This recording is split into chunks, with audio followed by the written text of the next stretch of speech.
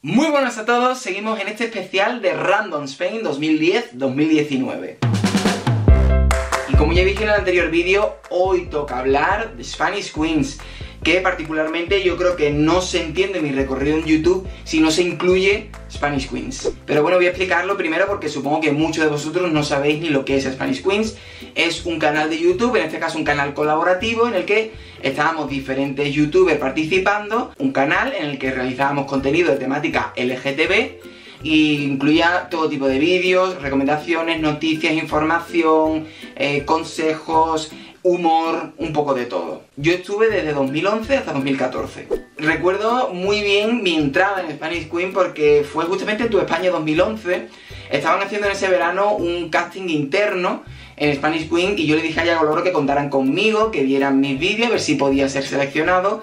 Y él mismo me lo dijo allí en, Madrid, en, ese encuentro de Tu España, que había sido seleccionado y que a partir de, de la siguiente semana, no me acuerdo cuándo fue, eh, empezaba a subir vídeo, entonces para mí se abrió una puerta muy grande, porque sí que es cierto que yo tenía muy pocos suscriptores, tenía como unos 400, yo estaba muy contento con mi canal, pero de repente me vi en un canal de cerca de 2.000 suscriptores, como era Spanish Queen en ese momento, que estaba creciendo muchísimo, que estaba teniendo muchísima repercusión dentro de YouTube, eh, y la verdad que para mí fue un, boom. Sí que es cierto que me lo tomé con bastante responsabilidad, porque ya digo que con mi canal, aunque tenía gente que me seguía y tal, pero hasta ese momento no he llegado a, tener un gran público, ¿no? Hacer vídeos que sabía que mucha más gente me iba a ver de lo normal que me vería en mi canal con lo cual me lo intenté trabajar bastante bien esos primeros vídeos. Yo inicié al final de la primera temporada y después en la segunda temporada fue donde realmente comencé y, muy bien, hacía vídeos de todo tipo, me atrevía mucho más que con mi canal, eso sí que es cierto,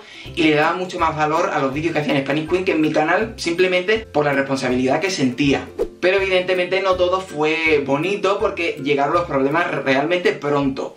Y es que cuando empezamos a, a crecer un poquito más, pudimos empezar a monetizar los vídeos, con lo cual decidimos de común acuerdo que el poco o mucho dinero que pudiéramos sacar con los vídeos y esa publicidad íbamos a donarlo íntegramente a ONGs y asociaciones eh, para ayudar. Justamente fue en Navidad de 2011 y la persona que creó el canal y que estaba gestionándolo tuvo la maravillosa idea de grabar la pantalla con el dinero que habíamos ganado y cómo lo donábamos íntegramente a una ONG, claro, para dejar fe que lo estábamos haciendo de verdad. Su intención era buena, pero las normas de YouTube, yo no sé si ha cambiado eso, supongo que no, decían que no se podría mostrar explícitamente eh, cuánto dinero se sacaba con YouTube, eso no se podía hacer.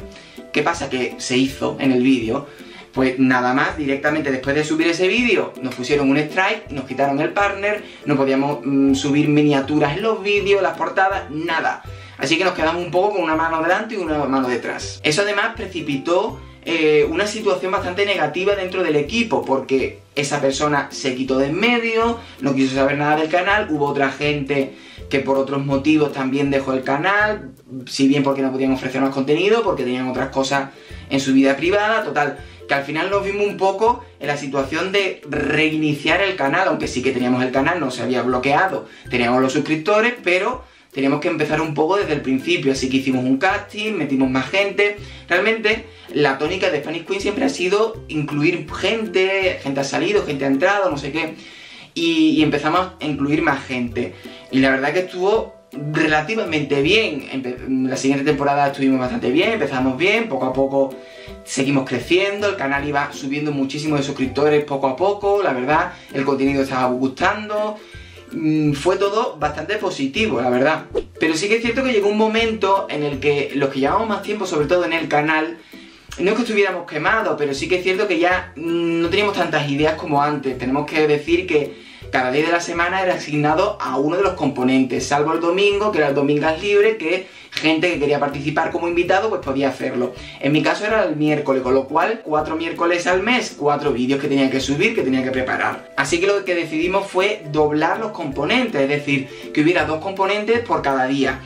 Imaginemos, en mi caso era miércoles, ¿no? Pues en vez de estar yo solo, pues estaba yo con Pablo, entonces era dos miércoles yo, dos miércoles él, con lo cual eran solo dos vídeos al mes, era mucho más asequible, era más fácil, entre comillas, aunque también muchas veces nos pisábamos ideas, porque a lo mejor una noticia, alguien quería comentarlo, pero alguien había subido el vídeo antes, etcétera. Era un poco complicado, pero bueno, aún así se llevó bien. De esa etapa recuerdo, eh, y además me, me cabreaba muchísimo, yo no lo entendía, ahora después sí con el tiempo sí que lo he entendido, pero bueno, que había mucha gente, bueno, mucha gente, había gente que no eh, era responsable con su día. Y me daba mucha rabia porque eran solo dos vídeos al mes. Es decir, no es que esté grabando un vídeo al día y que tenga. No, no, no. Dos vídeos al mes. Y había gente que no lo subía. Y el problema no es no subirlo, sino que no se decía, no se anunciaba antes. Veíamos que el día pasaba y que no se subía ningún vídeo porque nosotros acostumbrados, yo por lo menos acostumbraba a subir el día, el martes eh, por la noche a las 12, que ya era miércoles, yo ya tenía mi vídeo subido. Pues entonces había gente que no. Entonces mm, avisábamos y decían, no es que no puedo, no me ha dado tiempo, no sé qué. Y lo avisaba el mismo día. Y entonces, o bien alguien ya tenemos el vídeo preparado, que podía ser, yo normalmente los vídeos los editaba los fines de semana para el miércoles, con lo cual si era un lunes o un martes, pues podía meter mi vídeo. O a veces teníamos un domingo libre que ya no habían mandado y lo intentábamos incluir o lo que fuera, pero eso no anunciarlo, no, no decirlo, mira que este, esta semana no voy a poder, no sé qué. Son dos vídeos al, al mes, es decir, en un fin de semana, en un día, en una tarde, te plantas dos temitas buenos, eh, te lo grabas en un momento y ya te quitas el mes completo. Yo eso nunca lo entendía, digo, ¿por qué no, no se esfuerzan, no? Y claro, ahora sí que me, me doy cuenta porque mucha gente lo que hacía era que ponía su esfuerzo en su canal personal. Y en Spanish Queen cuando podía. Yo no, yo hacía al revés, yo decía, Spanish Queen es una responsabilidad, hay mucha gente que nos ve, no sé qué, yo le ponía el 100% a, a, ese canal y en cambio mi canal sí que es cierto que mucho tiempo estuvo un poco más parado, hacía menos vídeos, el contenido que hacía era un poquito más malo, por así decirlo, porque me centré en Spanish Queen. Error mío, es cierto que debí darme cuenta de cómo otras personas se centraron en su canal. Si yo a lo mejor en esa etapa me hubiera centrado más en mi canal, hubiera empezado a hacer vídeos de Eurovisión más intensamente en esa época y no justamente después de cuando hice Spanish Queen, cuando ya terminé con el canal, pues quizá hubiera empezado a crecer antes o lo que fuera, ¿no? No pasa nada, es decir, cada cual puede darle la responsabilidad y, y la importancia de su pertenencia en un multiblog como quiera, no es obligación, ¿no? Pero sí que es cierto que es algo eh, voluntario, pero que sí que es cierto que a mí en ese momento me molestaba mucho que la gente no avisara, que no... Pero bueno, ¿qué le vamos a hacer? Sí que es cierto que hubo, otra gente que no faltó ni un día en su vídeo y yo eso es de aplaudirlo.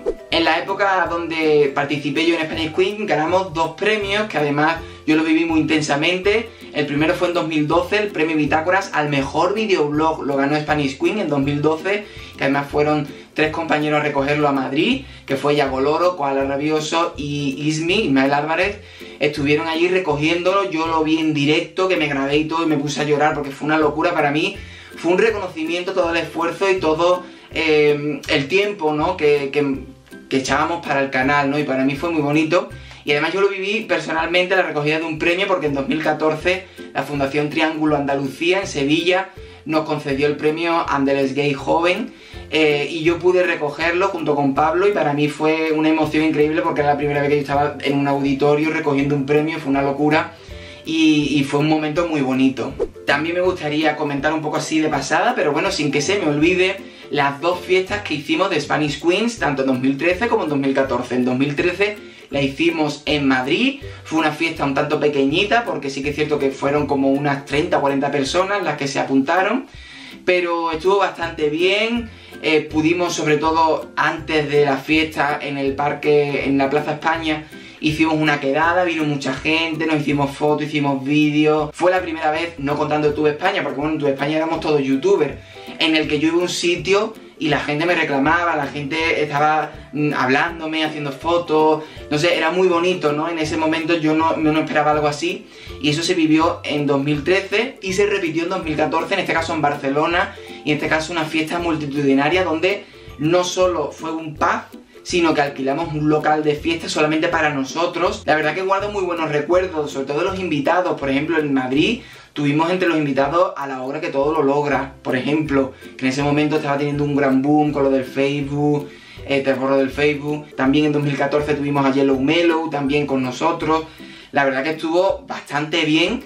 Eh, y yo lo pasé muy bien en ambas fiestas. Sí que es cierto que en 2014 hubo algunos problemillas, porque bueno, eh, costó mucho hacer la fiesta, mantener el precio de las entradas, con todo lo que conllevaba. Llegó un momento en el que Yagoloro y yo, que eran los que realmente movíamos la parte de, organización de la fiesta, nos sentimos un poquito solos, hubo ahí algunos malentendidos, algunas situaciones, y bueno, se vivieron momentos un poquito regulares, yo lo tengo que decir, y en algunos momentos lo pasé un poquito mal.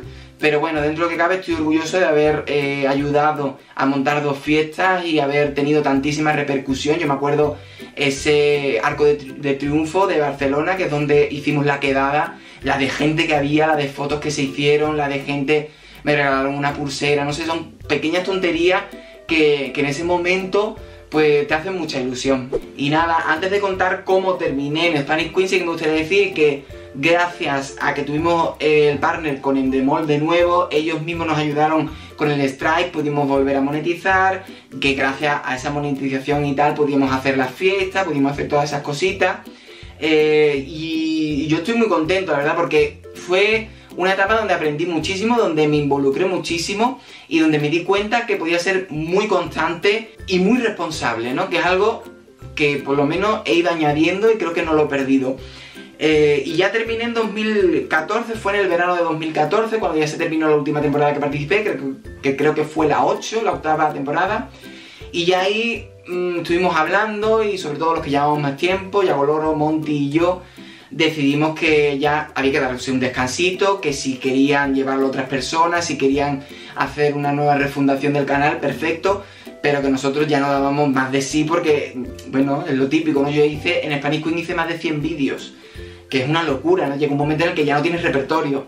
Y fue así como se terminó eh, en 2014, cuando terminó eh, diciembre, ahí se acabó y ya está. Yo me quedé con mi canal. Después vino en 2015, que fue un año un poquito oscuro a nivel personal y a nivel también con el canal.